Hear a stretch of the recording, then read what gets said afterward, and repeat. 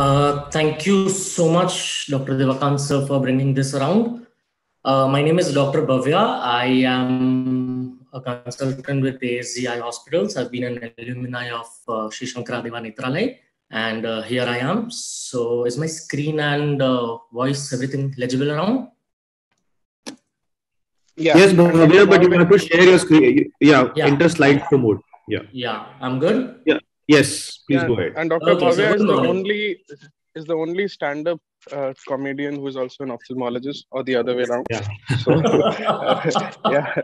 So, so, go ahead, Dr. Bhavya. Yeah. Uh, thank you so much. Good morning. So, Bhavya, you should expect a bit of comedy in the middle as well. Absolutely, it's it's just coming. The the very fact that we are talking about phacoemulsification in the morning, whether to go for fellowship or trust, is biggest biggest form of humor. so good morning. Uh, as we start the topic, it's a burning one. It's a phacoemulsification perplexities, fellowships versus trust hospitals.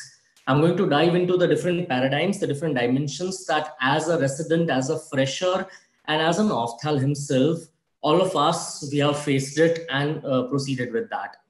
So there are no financial disclosures. It's just a story of struggle for the most perplexed perplexities, which is I don't know how to do a phaco. That is what the 10 minutes are going to be all about. So the confusion whether to take up a fellowship or whether to go to a trust hospital, the eternal confusion between both of them. So we bring our hero back uh, to this new juncture called phacoemulsification. And I fondly call, call this uh, hero as Motioman, the cataract learner, the phaco man and let him reintroduce himself to the new challenges which he's going to face ahead. So the spectrum of questions, why, what, how, where, as soon as you are a first year resident, the, the word phaco becomes a part and parcel of your uh, thoughts. Why? Come on, because it is the cataract. Statistically speaking, cataract is the world's leading cause of blindness, said by WHO and learning cataract is the most important surgery in ophthalmology, referred by who's who of ophthalmology. What makes this perplexity so important?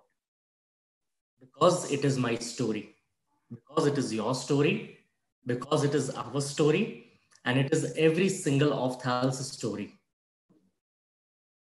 all of us are aware of the fact that uh, this meme is very self-explanatory. Instead of first year resident, I could uh, apply all the residents. Instead of diverging towards the steps of cataract surgery, a resident is busy doing his ward work in most of the institutes that uh, we see. So let's actually throw some light to why do we really need a phaco fellowship or a trust hospital as a stepping stone to our careers statements that all of us hear during the residency, which are not so pro cataract learning. My next turn comes too late. Patient's BP miraculously shoots up to 200 by 120 because he has forgotten to take medications on the same day. Your turn gets cancelled, and the seniors do their cases. And a very sad uh, story. I don't like going to the wet lab. I've been fondly quoting this that wet labs are like dinosaurs all of them have heard about it. They knew that they exist, but nobody has ever seen them. So all in all, residency at a number of places is holistically a bad destination of doing cataract surgery and hence the common dictum, bahar nikalkar kar lenge Now, the struggles post-residency. Deciding a fellowship with a burning introspection, if they give a cataract training along, I've seen the most focused and the most elite and the most intelligent residents turning into fellows, going for fellowships other than phaco refractive, still asking if they're going to get some phaco exposure in their residency. Evolution to phaco emulsification from SICS, because yes, that's a very important step. And of course, the economic aspect, because the moment you are an MS, the moment you are a DNB, the moment you are a DOMS, the economic aspect starts shooting in second question. Where would you learn phacoemulsification? Uh, this is a very nice uh, triangle of learning curve, which I call the triangle of freshers, which I have uh, developed. Uh, it shows surgical exposure, good pay, and comfort zone at three different points.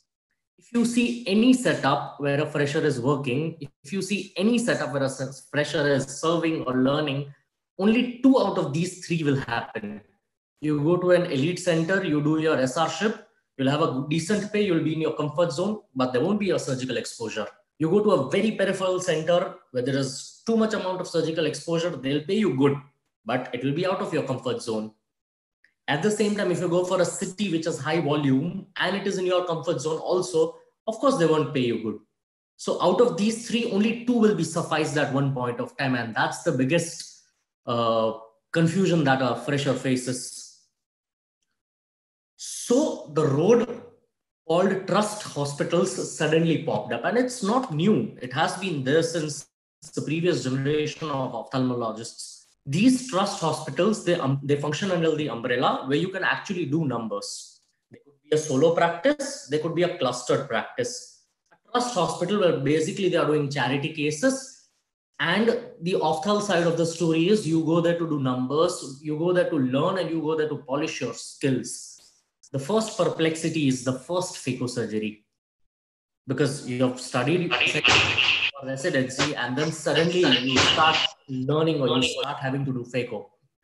The pros, you're a consultant there, it's independent, it relatively has more numbers, they pay good Patient expectation is low. There is no fixed timeline. Like you are not bonded for a year or two if you're not into a bonded with that particular trust, as I call it. You have an independent decision making. And of course, it's a professional growth. You start serving that trust if it is somewhere around your uh, area of settlement, your, you, you start building up your name and your patient pool. The cons the independence becomes aloneness. Like I, I might get personal at this moment of time because I come from uh, uh, Gujarat and uh, we usually have solo trusts and practicing alone does become an issue because probably you don't have anybody to handle your complications or to teach you at the point where you get stuck up. OPD surgical imbalance because you're the one who's seeing OPD, you're the one who's operating. Low salaries eventually because if you feel that the trust hospitals are paying good, I'm sorry, we are mistaken Low patient expectation induces recklessness, which is a very derogatory or which is a very detrimental term for learners like us. Surgical misadventures, complication rates, because they shoot up when you're working alone or when you are at a place where you relatively are there to learn. Tunnel vision towards cataracts. You start focusing your career, or you start focusing your learning more only towards cataract. And of course, detachment from the academic world because you get into the number game. The second umbrella, the phaco fellowships. They could be short term, they could be long term, and they could be with refractive surgery, as most of the institutes are providing.